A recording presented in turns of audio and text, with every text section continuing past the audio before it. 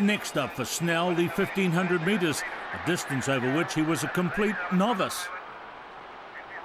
Also racing that day was fellow Kiwi John Davies. West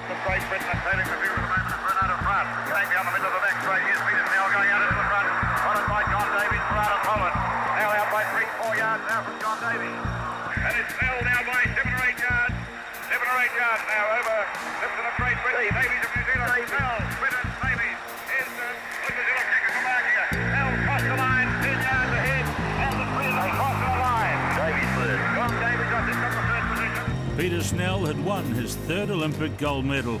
John Davies finished third for the bronze.